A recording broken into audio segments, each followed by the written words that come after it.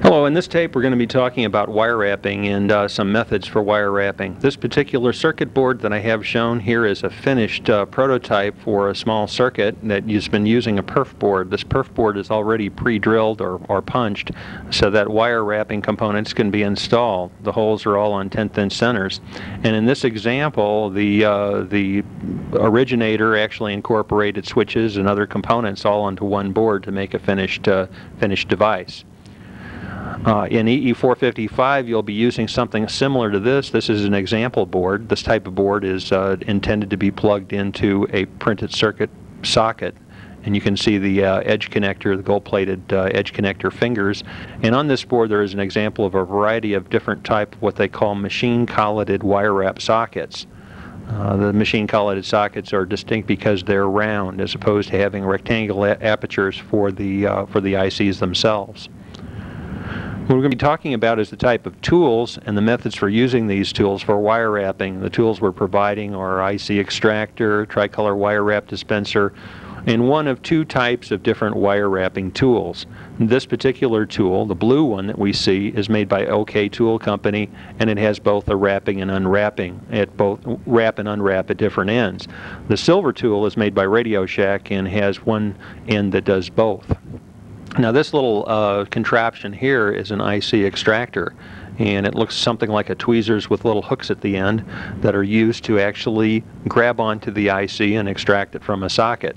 Uh, this actually prevents the IC pins themselves from puncturing your finger when you're trying to remove them because uh, other methods of removal can end up having the IC pins themselves land into your hand. Once an IC is removed, in many cases the pins are straight enough that they can be reinserted. Now this is an example of some wire wrapping that was done on this particular board and for all practical purposes it was done incorrectly. Notice particularly the wire wrap joints themselves are all balled up. In other words you can't see a clean helix of wire. It looks more like a ball of wire. Although these connections work, they're not an example of good wire wrapping practice. Now here are the two types of tools that we have available that we'll be using in, uh, in your wire wrapping for 455. There's a blue tool again and the silver tool.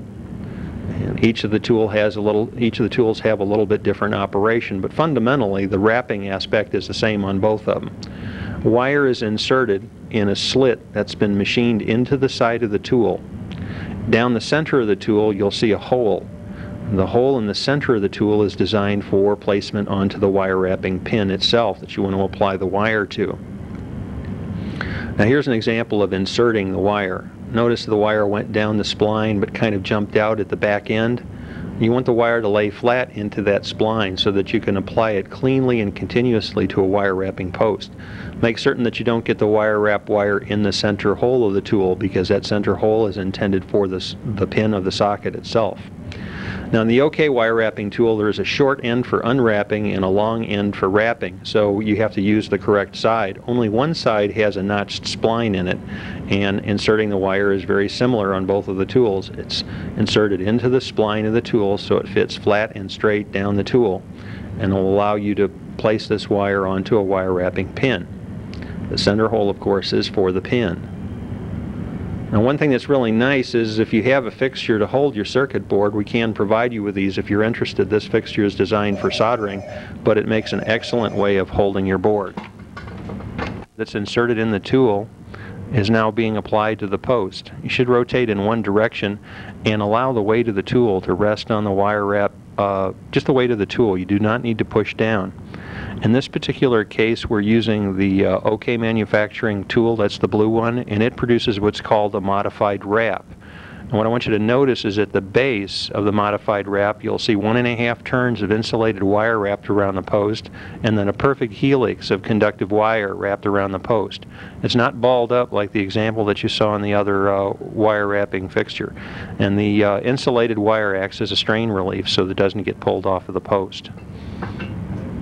Now to remove the wire, you simply put the wire wrapping tool on the joint and turn it counterclockwise and slide it right off. Now this is an example of the Radio Shack tool. We've inserted wire into the wire wrapping tool and we're applying it. Now as all good examples are, here's a bad example. The wire was not allowed to remain into the spline, and what happened is it wrapped around the tool and actually fractured the wire as it was wrapped around the post. Make sure that when you put the wire into the tool that it stays into the spline of the tool and it doesn't wrap around the tool as it's seen there. This, this wrap will have to be redone. Now you can see in this example now the wire is down the spline of the tool. We'll reapply it to the post and turn clockwise, just allowing the weight of the tool to rest on the post. No additional force is necessary. Now the Radio Shack tool does not produce a modified wrap. And what that means is, is that below the conductive wire wrapped around the post there is no additional insulation. So you can see you have a coil of conductive wire and it goes down to the uh, bottom of the post and you see no insulation around it. Uh, the Radio Shack tool does have the advantage that you can wrap and unwrap with the same side of the tool so you don't need to reverse the uh, use of the tool to remove wire. Now I actually measure, cut, and strip wire, and to keep some sanity in doing that, we've provided you with a transparent plastic tricolor wire wrap dispenser which we can refill. Now these units can wear out at certain times, so what we'll, what we'll want to do is if you have one that wears out, we'll replace it. If you have one that becomes empty, we'll refill it. This tool not only cuts wire, it also strips the wire, and it does it in one smooth operation, which we'll demonstrate. First thing that you do to uh, cut the wire, we've shown already, and to strip the wire, there is a little notched metal tab that actually removes the conductor from the wire. This can be all done in one operation, as I'm doing with this blue wire.